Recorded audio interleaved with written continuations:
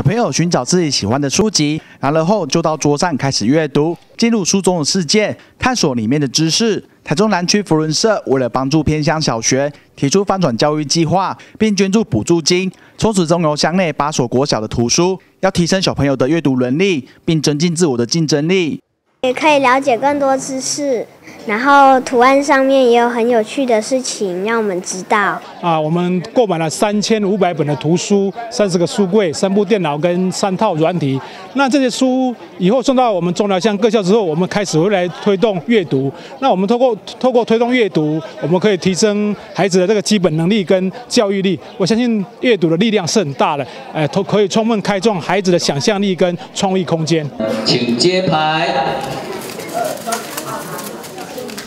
由多位贵宾共同揭牌下，联合图书馆也正式启用。中药乡许多学校资源有限，为了缩短城乡间的差距，福伦社希望引进图书的资源，引发学童的学习动机，提升自我的竞争力。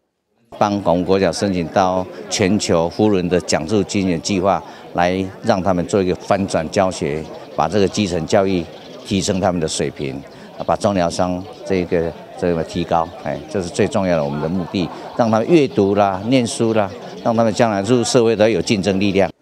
图书馆成立后，可以协助学生累积阅读乐趣外，也能增进学生的语文能力。议员廖文显也很鼓励小朋友能多利用点时间阅读书本，替未来奠定良好的学习基础。这学生哦，要看书方面多给真正的这书本好堂啊来参阅啦吼，人在讲。书中自有黄金屋，今仔日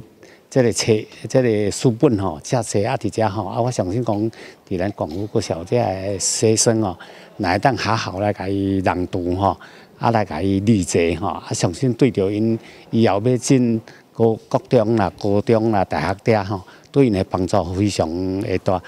小朋友专心阅读喜欢的书本，就能看出书中自有黄金屋的道理。也相信借有引进图书的资源，能缩短城江县血统的教育水平，提升未来中寮子弟的社会竞争能力。民意新闻，中国军中寮传播道。